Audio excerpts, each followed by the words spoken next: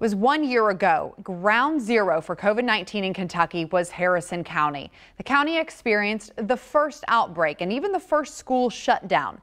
As part of the Rebound Kentucky, we're spotlighting the ways people have found new ways of doing business and thriving during the pandemic. Evening Edition's Conroy Delouche returned to Cynthiana, where he reports there that they are now there are emerging signs of normalcy and optimism for the months ahead.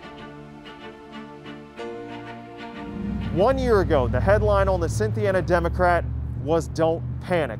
Today's headline, Back to School, a sign of progress during a pandemic. Traffic is bustling through downtown once again. Things are getting kind of back to normal. It's starting to feel good like it used to. But this sense of normalcy did not happen overnight. Despite the message from the newspaper on March 9, 2020, Tommy Clifford with Cynthiana Tourism did panic last March. I did at first. I did for about a week. I was very, very nervous about what the future held. After dining rooms and retail were forced to close inside, restaurant and shop owners did retain some optimism as customers stuck at home supported local.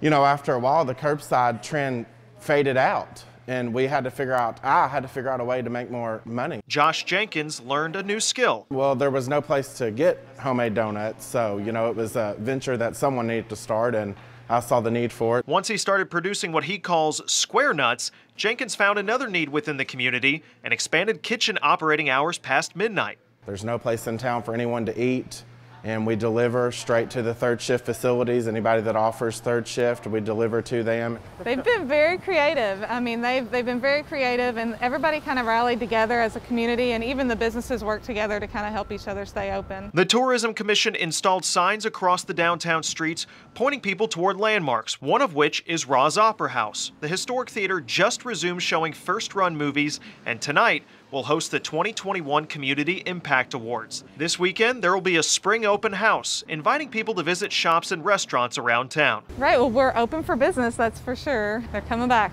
We're ready. Ready while operating safely. In Harrison County, Conroy Delouche, LEX 18 News.